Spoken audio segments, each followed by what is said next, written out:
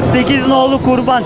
Samet Koç, Hasan Koç, Hamza Yüksel, Merve Doğru Yol, Emine Karagöz, Şaban Yılmazer, Erman Taş adına sizi kurban kesmeye vekil kıldım. Aldım kabul ettim. Allah kabul etsin.